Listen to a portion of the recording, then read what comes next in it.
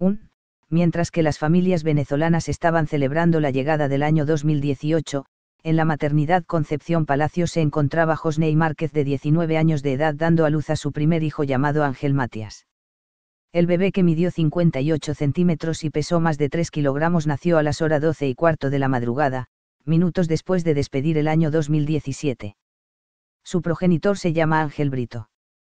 Igualmente se registró a las horas 11 y 25 de la noche del pasado 31 de diciembre, el nacimiento Fred y Angeli Cáceres. Sus padres son Angeli Díaz de 17 años y Frangel Cáceres. Este es el segundo hijo de la pareja. El director de la maternidad Concepción Palacios, Ali Barrios, informó que durante el pasado 2017 se disminuyeron casi a la mitad los índices de mortalidad materna.